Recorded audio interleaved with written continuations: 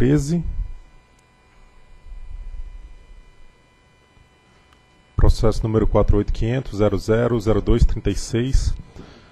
Recurso administrativo interposto pela Eletropaulo Metropolitana Eletricidade de São Paulo em face do auto de infração número 122 de 2012, lavrado pela Superintendência de Fiscalização Econômica e Financeira, SFF, que aplicou penalidade de multa em decorrência de fiscalização para verificação da base de remuneração regulatória da recorrente no terceiro ciclo de revisões tarifárias. O relator o diretor Romeu Donizete Alfino e o relator do voto vista é o diretor André Peptoni. Trata-se de exame de recurso administrativo interposto pela Eletropaulo Metro Metropolitana Eletricidade de São Paulo, Eletropaulo, em face do auto de infração número 122, 2012, lavrado pela SFF, que aplicou multas em fiscalização da base de remuneração regulatória da concessionária no terceiro ciclo de revisões tarifárias. Na sessão plenária, senhores diretores, de 16 de junho, quando realizada a 21ª reunião pública ordinária dessa, deste colegiado, iniciou-se o exame do feito, ocasião em que o diretor relator, por afastar as preliminares apresentadas pela recorrente, considerou então a análise do mérito, comprovadas as infrações identificadas pela fiscalização, mas julgou necessário reduzir a penalidade de multa para um nível mais próximo das atuações históricas da ANEL e propôs que fosse dado provimento ao recurso administrativo interposto para reduzir a penalidade de multa de 126 milhões para 48 milhões, o que corresponde a uma redução global de 61,56% das multas aplicadas à S Eletropaulo. Após o voto do diretor relator, iniciou-se a fase de debate pelos diretores, seguindo-se o rito preceituado no artigo 22 da norma número 18, aprovada pela resolução 468 de 6 de dezembro de 2011. Na sessão, pena que o diretor Tiago não está aqui presente, o diretor Tiago registrou que a dosimetria das penalidades, em especial a relativa à não conformidade N13, decorrente da inclusão de ativos no serviço de ativo imobilizado em serviço, deveria ser realizada à luz da, da vantagem indevidamente oferida pela concessionária. Ponderou que, caso contrário, não haveria o necessário efeito pedagógico das penalidades, mas sim estímulo à infração das regras setoriais. Da mesma maneira, naquela sessão, o diretor Jurosa manifestou que, por reportar substancial a vantagem oferida pela concessionária com a prática da infração relativa aos cabos inexistentes, avaliava como ainda insuficiente a multa de 104 milhões originalmente proposta pela SFF para o caso dos cabos, para que a não conformidade N13. E manifestou que não atribuía o caráter histórico da multa o mesmo peso conferido pelo relator, por entender que a penalidade deveria ser sempre a correta.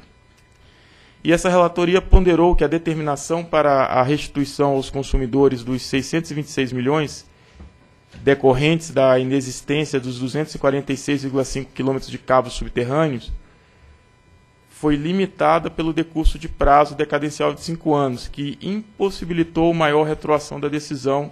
Foi o que registrei na sessão, que tomamos a decisão de é, estancar o futuro, ou seja, no terceiro ciclo essa quantidade de cabos sairia da base e resgatar o passado que ele foi remunerado e a agência entende que é um ativo inexistente, foi remunerado no primeiro e no segundo ciclo. Entretanto, devido ao alcance da decadência, a qual estamos sub, submetidos, observando o, o devido processo legal, conseguimos retroagir apenas por cinco anos mas ainda remanesceu um período em que os consumidores é, remuneraram um bem inexistente. E diante da grandeza da, da tese em discussão, e por considerar que o outro processo que versa sobre recurso administrativo, também interposto pela Eletropaulo, em face do auto de infração número 8, pelo qual foram aplicadas multas pelo descumprimento de diversas obrigações de natureza contábil, encontrava-se distribuído por sorteio público também a, a mim, então, pedi vistas dos autos para melhor exame da controvérsia, a fim de evitar decisões contraditórias. E de início, senhores diretores, esclarece que a SFF realizou duas fiscalizações na Eletropaulo.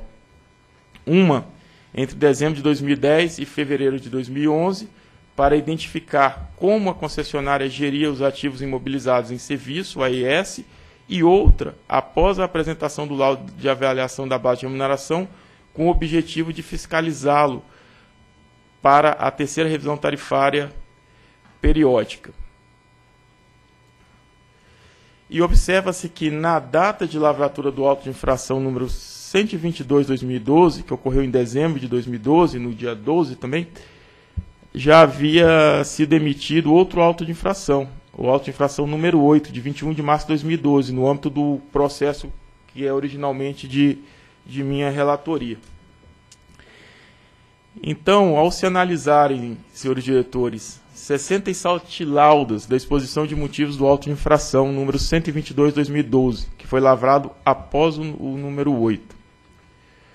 Ao se analisarem 76 laudas do recurso administrativo, 132 laudas do juízo de reconsideração da SFF e 91 laudas do parecer número 4 de 6 de janeiro de 2014, emitido pela Procuradoria Federal da ANEL, e confrontá-las com as 81 laudas da exposição de motivos do auto de infração número 8, com as 125 laudas do recurso administrativo a ele relativo e com as 218 laudas do respectivo juízo de reconsideração elaborado pela Superintendência de Fiscalização Econômica e Financeira da ANEL e mais 104 laudas do parecer número 5 de 6 de janeiro de 2014 da Procuradoria, verifica-se que não há, nas não conformidades identificadas no auto de infração, dupla penalização pelo fato do bis in idem. Pode-se, portanto, prosseguir o julgamento sem qualquer preocupação quanto a esse tipo de nulidade.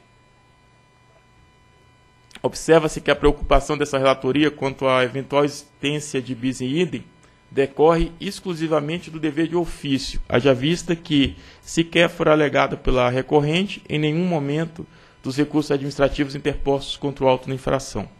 Dessa maneira, quanto ao exame das preliminares e do mérito das não conformidades, não vejo como discordar do voto proferido pelo relator. Com efeito, considera-se que os pedidos de nulidade por desconsideração de argumentos e falhas na motivação devem ser rejeitados e que as razões apresentadas pela recorrente não foram suficientes para infimar as infrações apontadas no auto de infração corretamente caracterizados e comprovados pela Superintendência de Fiscalização Econômica e Financeira. No que se refere à dosimetria das multas, todavia, não vejo como acompanhar integralmente o voto proferido pelo relator, que propôs a redução da dosimetria das sanções para o máximo de 10% do benefício que seria oferido pela concessionária até a próxima revisão tarifária, caso as falhas não fossem identificadas pela fiscalização. A proposta implicou multa de 4% do benefício que seria auferido até a próxima revisão tarifária para a maioria das não conformidades e de 7,3% do benefício no caso da N13, que é justamente a relativa aos 246,5 km de cabo inexistente. Rememora-se que a SFF, utilizando o poder discricionário limitado que tem, que foi, lhe foi conferido tanto pela Lei 9427 quanto pela Resolução Normativa 63/2004, julgou conveniente sancionar a concessionária em até 40% do benefício que seria auferido até a próxima revisão tarifária, no caso as falhas não fossem identificadas pela fiscalização. E, para tanto, atribuiu pesos aos critérios do artigo 15 da Resolução Normativa 63. Então, no que diz respeito à abrangência, o peso é de 18,75%, variando entre 0% e 7,5%. No caso da gravidade, o peso era de 18,75%, variando entre 0 e 7,5%. Danos resultantes para o serviço, peso de 12,50%, variando entre 0 e 5%. Danos resultantes para os usuários, peso de até 12,5%, variando entre 0 e 5%. Vantagem oferida pela infratora, peso de, 20, peso de 25, variando entre 0 e 10. E sanções irrecorríveis nos últimos quatro anos, peso de 12,5, variando entre 0 e 5, conforme a seguinte gradação. Aí tem a gradação que a superintendência adotou. Ao valorar tais critérios, em relação à não conformidade N6, N11, N19, N20, N23, N28 e N31, que envolvem sobre avaliação da base de remuneração, a SFF considerou que os critérios abrangência, gravidade e danos resultantes para o serviço deveriam ser fixados em seus patamares máximos, respectivamente. Os critérios danos para os usuários e vantagem oferidas deveriam ser fixados no patamar inferior, ou seja, 0%, não deveriam ser considerados, e que o critério sanções anteriores em 1%, pois foram identificadas três sanções anteriores recorríveis aplicadas nos últimos quatro anos, então, nessa medida, foi alcançado o percentual de 21%. Já para a, a não conformidade N13, aqui só chamando a atenção, senhores diretores, que a, a superintendência partiu do pressuposto que deveria apenar em 40% do possível ganho. Aí, considerando todos os critérios de, de abrangência e as devidas justificações, esses 41% foram reduzidos para 21% do possível ganho. A exceção é para a não conformidade N13, que é a dos cabos. E para essa não conformidade, a fiscalização da ANEL avaliou que os critérios abrangência, gravidade e danos deveriam ser fixados em patamares máximos e o critério danos para usuários em patamares intermediários e a vantagem oferida também no patamar intermediário. E o critério anteriores de sanção, então, segue aquele quadrinho em 1% em razão das três sanções irrecorríveis. A fiscalização da ANEL justificou a maior severidade por observar que a obtenção da vantagem indevida pela concessionária com os consequentes danos para os usuários, ocorrera durante todo o segundo ciclo de revisão tarifária, mas fora impedida pela glosa que ocorreu no terceiro ciclo. E assim dosou ambos os critérios em 50%, ou seja, no patamar intermediário. E, consequentemente, foi alcançado para não conformidade N13 o percentual sancionatório de 28,5%, diferente né, do, do outro grupo de multas que alcançou 21%. E a tabela 1 apresenta os resultados obtidos pela SFF e utilizados no auto de infração número 122 de 2012. E aqui a gente, então, repercute é, é, o, a, toda a avaliação da, da, dosimetria da superintendência, sobre a, a avaliação do AIS, a questão do repasse tarifário, considerando a depreciação e o OC, a sanção, o limite de 1%, o da dosimetria, então o valor da multa consignada. Eu chamo a atenção aos senhores diretores que observem no quadro a coluna dosimetria. Todas estão na faixa de 0,007, N1, vamos pegar aqui a N6 0,025, N11 0,002, N31 0,04, a exceção apenas para N13 que alcançou 1%, que foi a questão dos cabos, e isso feito pela superintendência, pela SFF.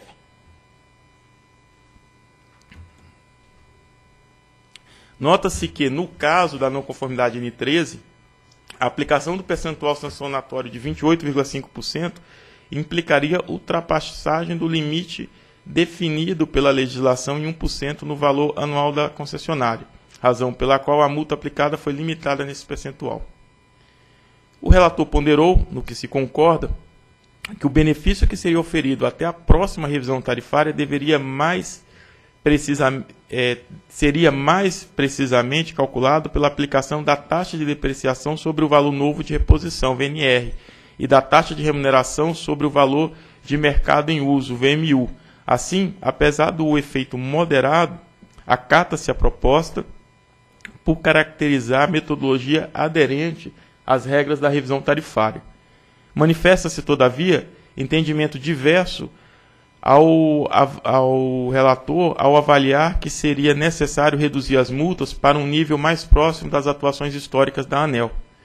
E justifica-se a compreensão distinta pela constatação de que as dosimetrias aplicadas para a fixação das multas do auto infração 122 variaram entre 0,0001% e 0,047%, percentuais muito aquém do máximo de 1% previsto na 63 para infrações do grupo 1. E acresce-se que o artigo 3 inciso 10 da Lei 9427 de 96, que outorga o poder sancionador ao ANEL, estipula que cada infração, e não o conjunto das 13 identificadas no auto infração, pode gerar multa de até 2% do faturamento.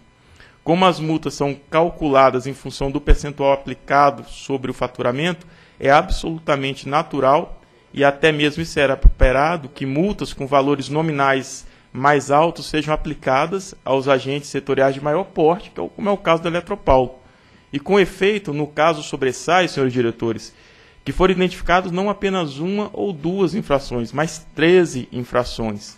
E a base de cálculo das multas é o faturamento de uma das maiores concessionárias do Serviço Público de Distribuição de Energia Elétrica do Brasil, que entre novembro de 2011 e outubro de 2012 totalizou pouco mais de rol 10,4 bilhões de reais, excluído ICMS e ISS. Destaca-se ainda que nos autos de infração superiores a 20 milhões referidos no voto original do processo, os percentuais de dosimetria aplicados, e já inclusive confirmados pelo colegiado, ou seja, já foram analisados os recursos, foram semelhantes e, em vários casos, até mesmo superiores ao aplicado a S. Eletropaulo no auto de infração número 8-2012. A substancial diferença no valor pecuniário das multas advém da também substancial diferença do faturamento anual dos agentes setoriais envolvidos e da quantidade de infrações detectadas. Aí na tabela 2, eu pego as multas que foram citadas maiores que 20 milhões. Então foi uma atribuível a Furnas, que tem uma base de remuneração de 6.500, praticamente. Num auto de infração que contabilizou uma, duas, três, são várias não conformidades agrupadas, então nós estamos falando de quatro não conformidades com a base de remuneração de 6.500. A outra da Chesf, que tem uma base de remuneração de 5.500. Tem uma, duas, três, quatro, cinco não conformidades. E a outra, que foi uma multa de 25 milhões aplicada à CEMIG, que tem uma base de remuneração de 7.900, que mais se aproxima da AES, tem uma, duas, três, quatro, cinco, seis, sete não conformidades, ou seja, metade das não conformidades da AES. E o gráfico 1 demonstra a magnitude da diferença entre o faturamento anual dos agentes setoriais nos últimos 12 meses anteriores às lavaturas dos respectivos autos de infração.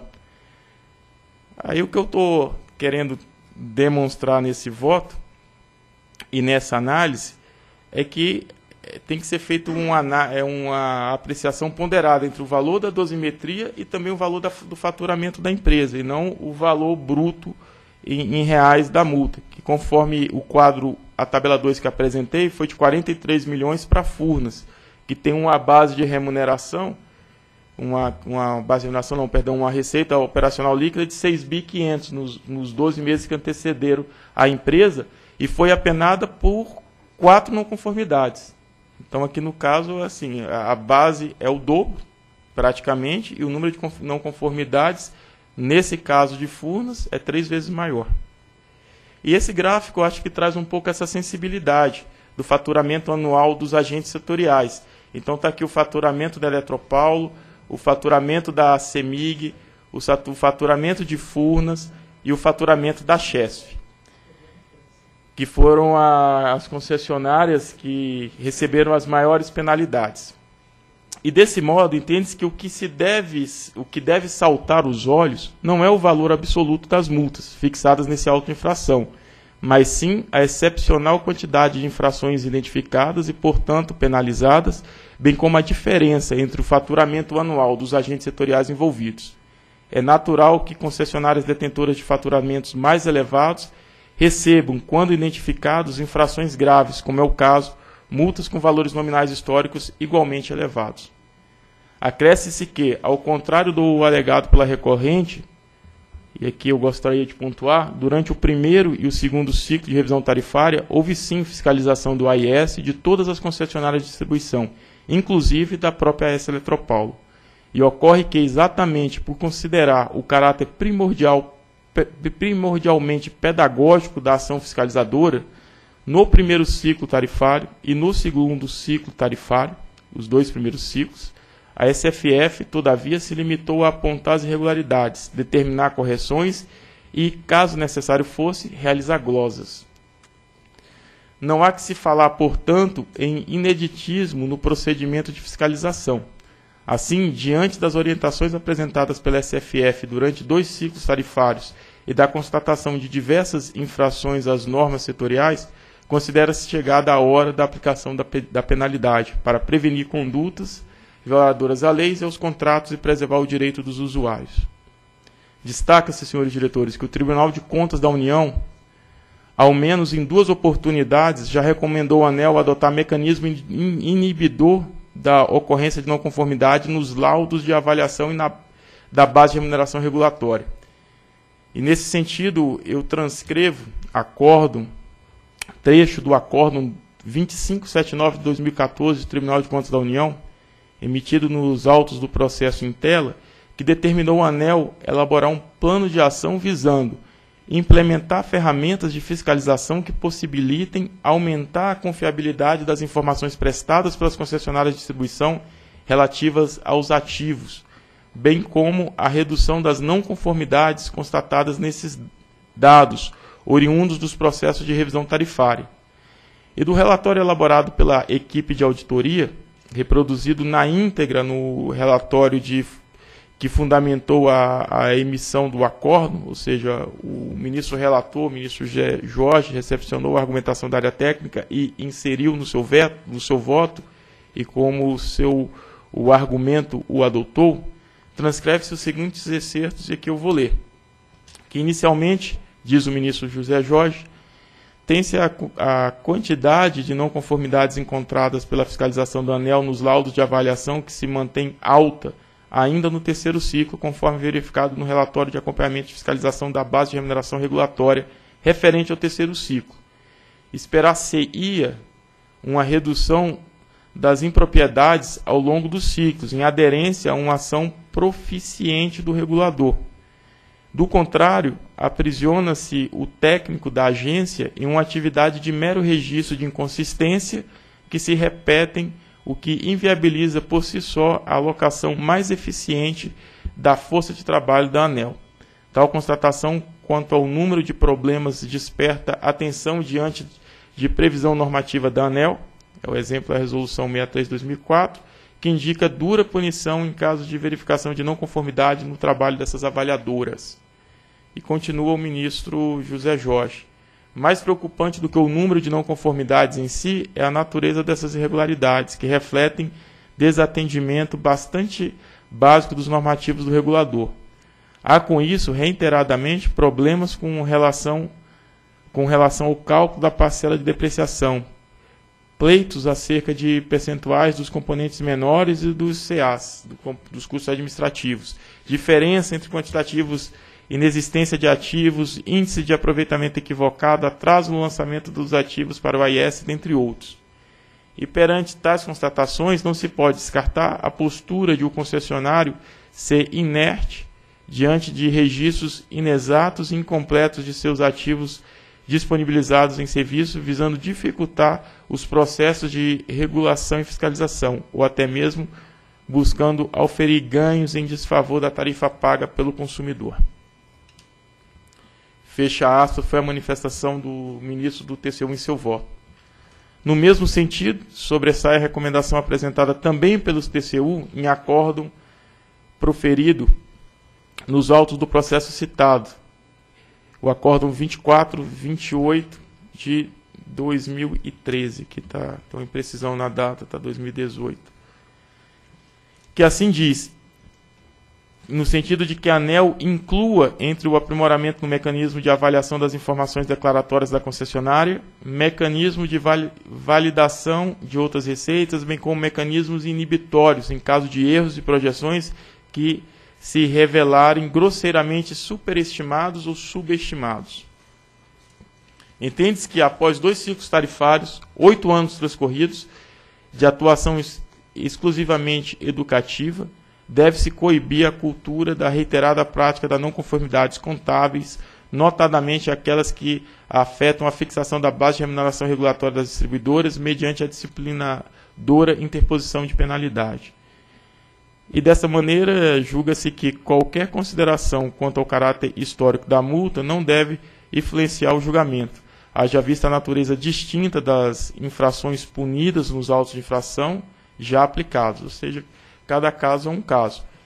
Aliás, conforme observado pela Procuradoria Federal no parecer número 5 de 2014, nos autos do processo 48.500.000697-2011, que trata do auto infração número 8, 2011 da SFF, a avaliação quanto ao caráter histórico da multa é destituída de qualquer informação técnica e de qualquer fundamentação técnica e jurídica, razão pela qual não deve ser considerada. Considera-se, todavia, que, apesar da validade da metodologia utilizada pela SFF para dosar as penalidades, pois aderente ao parâmetro tanto da Lei 9427 quanto da Resolução 63, foi excessivo o patamar de 40% utilizado para a fixação das multas. Entende-se que multas de até 25% do eventual benefício são suficientes para reprimir condutas infratoras da espécie e mais aderentes aos padrões normativos utilizados na fixação, na fixação de multas em geral. Não se trata aqui de reduzir a multa para um nível próximo das atuações históricas, haja vista a ausência de fundamentação jurídica nesse raciocínio, conforme observado pela Procuradoria Federal no parecer número 5. Trata-se apenas e tão somente de estabelecer parâmetro considerado como razoável e proporcional, que efetivamente desestimule a prática de infrações pelos agentes setoriais e que possa ser utilizado pela fiscalização em eventuais futuros autos de infração decorrentes da fiscalização de AIS e base de remuneração regulatória. Reputa-se, entretanto, correto o encaminhamento proposto pelo relator por acolher recomendação da Procuradoria no sentido de exclusão do coeficiente relativo aos danos ao serviço nas dosimetrias das não conformidades N6, N11, N19, N20, 23, N28 e N31 uma vez que as justificativas basearam-se exclusivamente em prejuízos hipotéticos que não se concretizaram em virtude de glosas feitas pela fiscalização da ANEL. Entende-se, entretanto, que o mesmo raciocínio não se aplica a N13, que é relativo aos cabos, pois a fiscalização também não demonstrou como a infração teria acarretado danos concretos à prestação de serviço público de distribuição de energia elétrica. Julga-se que devam ser mantidas, todavia, os mesmos pesos e, me e, a mesma valoração atribuída pela SFF aos critérios do artigo 15 da 63, abrangência, gravidade, dano, danos à concessão e ao consumidor, vantagem oferidas e sanções anteriores, no que resulta no seguinte resultado. Então está aqui as abrangências, a gente está variando o, os percentuais adotados. Assim, senhores diretores, após a valoração de tais critérios, para não conformidade N6, N11, N19, N20, N23, N28 e N31, julga-se que o critério abrangência e gravidade deve ser fixado seu patamar máximo, que é de, passa a ser, durante essa nova referencial de 25%, de 4,68%, que o critério dano para o servidor, para o usuário e vantagem oferida seja fixado em zero, porque não houve, e o critério de sanções anteriores em 0,63, porque foram identificadas três sanções aplicadas nos últimos quatro anos. Assim, propõe-se a fixação de multa em 10% do benefício que seria auferido até a próxima revisão tarifária. Então, ou seja, a gente parte de a área técnica parte de um patamar de 40%, a gente entende que o patamar adequado é 25%, é uma decisão é, discricionária, a gente busca é, relativizar com decisões aqui da ANEL, e quando aplica-se item a item a, a dosimetria, então esse patamar, digamos assim, o teto de 25%, ele vira, ele se operacionaliza com 10%, ou seja, 10% daquele benefício que seria oferido pela empresa diante das informações que foram identificadas não conformes. E já para a não conformidade N13, isso são para todas as não conformidades, exceto a do fio, que é a N13. E no caso do fio, aplicando o mesmo raciocínio, entretanto, com ponderações um pouco distintas, esse percentual alcança então 14,68%. E nota-se que, desse modo, a multa a ser aplicada na conformidade N13 não supera o limite de 1%. E a tabela 2 apresenta o cálculo da dosimetria proposta. Então, aqui é fruto de uma análise que fiz, tem a a, a, o valor, né, da, seguindo a mesma tabela da, da, da fiscalização da ANEL, eu chamo a atenção que se a gente considerar as multas todas as aplicadas N1, N3, N4, N, N6, N11, N18, N19, 20, 23, 28 e 31, todas elas, é, somando, alcançam pouco mais de 9 milhões de reais. E o grande assim, a, a grande magnitude aqui se dá a N13, que é a questão dos cabos, que ela sozinha responde por 89 milhões de reais. Essa seria a penalidade aplicada. Entende-se que a dosimetria Ora, a proposta atende ao critério de razoabilidade e proporcionalidade, pauta-se nos limites da discricionalidade conferida pela legislação ao administrador público e verifica-se ainda que os percentuais aplicados sobre o faturamento anual da recorrente se encontram muito aquém do máximo de 1%. A única exceção é a multa à não conformidade N13, para o qual vota-se pela utilização da dosimetria final do percentual de 0,85% mais próximo do limite regulatório atual para infração em espécie, mas ainda razoável e proporcional diante da gravidade da conduta identificada. Desse modo, voto por conhecer do recurso administrativo interposto pela S. Eletropaulo no mérito dali parcial provimento para reduzir as multas impostas pelo auto de infração número 122 por infrações relacionadas à fiscalização da base de remuneração para 98.854.000 reais a serem recolhidos conforme legislação vigente. É o voto em discussão. Bem, aqui o doutor André fundamenta toda uma análise no sentido de rever a dosimetria originalmente aplicada, né, e, e também aqui propus no meu voto original. Então, é, como já tínhamos discutido, e ele também explora essa questão no, no seu voto, a dosimetria, de fato, é uma questão um pouco mais subjetiva, é discricionária, no sentido de pontuar alguns aspectos que entende relevante, eu acho que ele o fez muito bem. E aqui, de fato, não é desprezível aquela questão do, do efeito, né, em função é, dessa questão do problema da base de remuneração da Eletropaulo, o fato de que naquele processo que nós é, ainda temos aí pendente, por ter uma decisão ainda é, liminar na justiça da não devolução de parte desse recurso ao consumidor. Então, isso, em alguma medida, é sim um impacto que decorre daquele problema na base de remuneração. Né? Então, essa questão da escolha da dosimetria, como eu disse, eu tinha feito uma, uma proposta com base numa análise que ali, em alguma medida, sustentou a proposta, mas o eu acho até que de maneira correta e prudente o, diretor André pediu vista, porque como ele já mencionou, é o próximo item, ele relata um outro processo que tem uma certa correlação, ainda que não tem a dupla penalidade, como ele colocou, mas tem uma certa correlação. Portanto, eu achei pertinente até para fazer essa análise conjunta, como ele certamente fez. Então, o que ele propõe aqui em torno de dosimetria, eu diria assim, é válida, sem dúvida nenhuma, é tão é defensável, está bem fundamentada e justificada. Portanto, eu reformo a minha posição para acompanhar o voto vista do doutor André. É isso que eu vou encaminhar. É, naturalmente, eu já tinha votado né, como relator e os diretores Reive, né, é, Tiago e, e, e, Jurosa, salvo engano, tinham votado também, porque o André, é o último a votar, ele pediu visto. Então, eu, como relator do voto originário, eu primeiro me posiciono no sentido, então, de acompanhar o voto do relator, voto visto André. Só queria, Romeu, fazer um, um ajuste aqui na minha fala. Eu acho que quando eu li e não ficou tão claro, que no final eu concluí que aquela tabela partiu da tabela da fiscalização. Não é isso. Eu chamo a atenção para o item 20, que eu, eu parto de um ajuste que o Romeu, em sua análise, já o fez. Ou seja, vou repetir aqui, que quando a gente faz a ponderação, concordando com o relato e o ajuste que o Romeu fez, a gente considerou que o benefício que seria oferido até a próxima revisão tarifária não foi aquele calculado pela, SFF, mas adotamos, é, diante da, do, do, do opinativo do Romeu, que era mais precisamente, ele seria calculado pela aplicação da taxa de depreciação sobre o valor novo de reposição e da taxa de remuneração sobre o valor de mercado. Então isso dá uma diferença ela para menor em relação ao material da SFF. Então eu parto daí, né? Feita essa correção, a parto daí para fazer a, a, ponderação.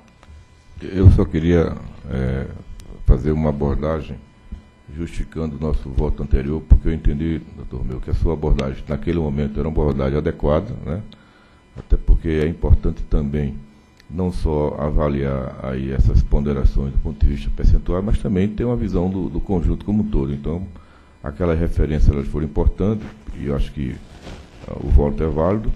Mas é, nessa nova abordagem feita pelo diretor André, também tão válida e importante, porque dá uma maior consistência da dosimetria. E do ponto de vista pedagógico, eu acho que realmente a gente mantém também os critérios anteriores, porque quando você faz uma correlação com as multas já aplicadas e com base nas demais empresas, consequentemente você percebe que continua mantendo a coerência da agência. Portanto, eu parabenizo o André aí pelo voto, com a consistência que foi apresentada.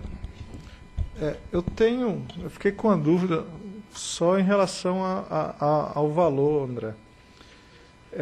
Quando você aplica na, na, sua conta, eu fiz reproduzi-la aqui, está tá, tá correta. A gente está aplicando essa alíquota de 14,69 sobre a, a, aquela base de 607 milhões, que seria o repasse tarifário, né?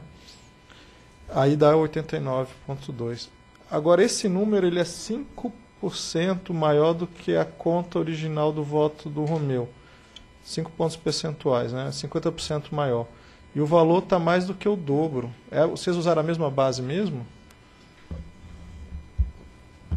Tiago, desculpa, não, não entendi. O, o valor da multa NC13, no, no voto do original do relator, está em 43 milhões. Certo. Lá me parece que ele aplicou a alíquota de 10, a sanção de 10%. Foi. Sobre essa mesma base de repasse tarifário de 607. Então 14,5% é 50% maior e aumentou mais de 100%.